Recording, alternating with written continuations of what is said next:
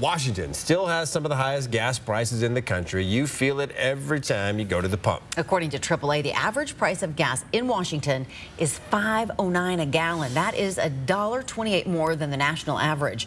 A factor for these rising costs has to do with the state's cap and trade system.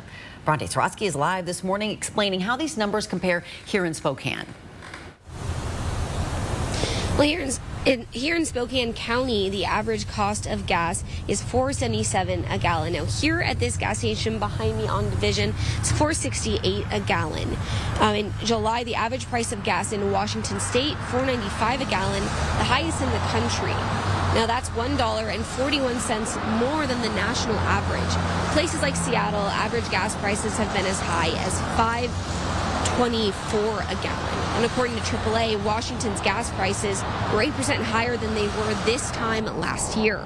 At the end of August, California took over for having the highest gas costs in this country, but gas prices here in Washington were still more than a dollar above the national average at $5.10 a gallon versus $3.82. Now, one reason prices have skyrocketed has to do with the state's cap and trade program.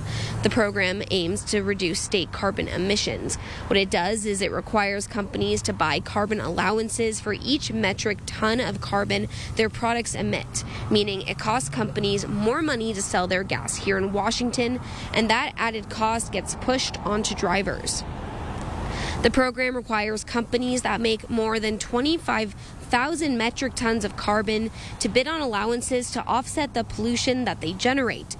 The first two auctions bought, brought in 800 million, with the money going towards environmental projects like replacing gas-powered public transit with electric. And you can find more information about this story up on our website, kxly.com. Reporting live in Spokane, Bronte Sorotsky, 4 News Now.